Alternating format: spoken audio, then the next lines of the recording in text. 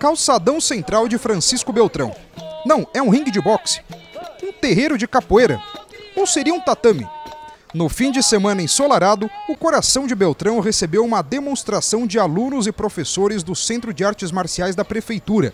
O centro conta com aproximadamente 200 alunos que praticam as modalidades a um custo reduzido.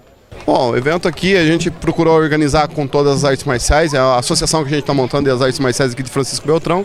E daqui a pouco a gente vai fazer um alongamento, vai fazer uma apresentação de cada modalidade para o cidadão beltronense conhecer um pouquinho de cada modalidade que a gente tem hoje num espaço público cedido pela Prefeitura Municipal da cidade. Depois do alongamento, ação!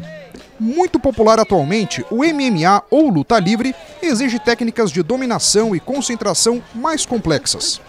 Eu tô aqui do lado do Eric, ele é de Marmeleiro, tem 16 anos e hoje recebeu a faixa preta. Eric, você faz o karatê, pratica o karatê desde os 6 anos de idade, né? Começou no Kaique. O que, que representa o karatê na sua vida?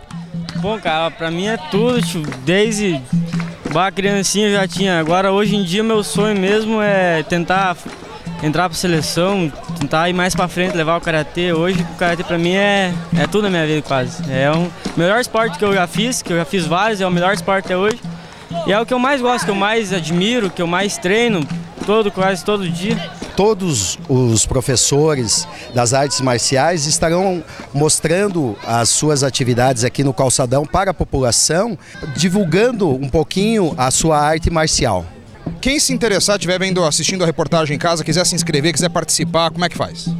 Ó, pode ligar para a Secretaria de Esportes, pode ir no Centro de Artes Marciais, que fica situado na antiga PAI.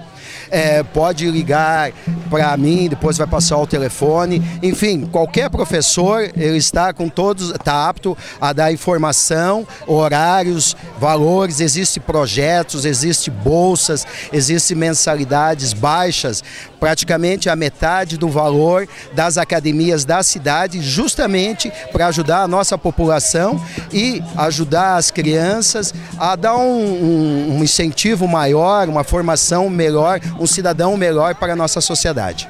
Ficou interessado? Quer entrar em forma praticando arte marcial? É só procurar o Centro de Artes Marciais da Prefeitura, na antiga PAI, no bairro Alvorada, de segunda a sábado, no período da tarde e da noite.